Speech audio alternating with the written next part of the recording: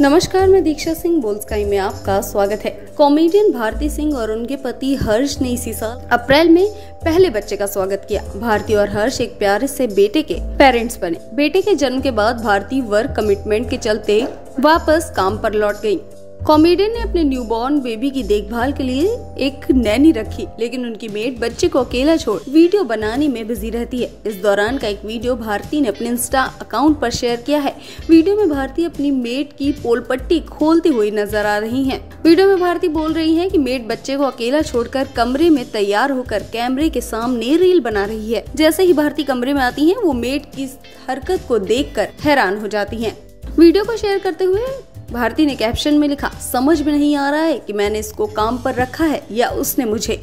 ये मेरी ज़िंदगी है। बता दे, भारती का ये वीडियो फनी है। तो आप भी देखिए भारती का ये फनी वीडियो।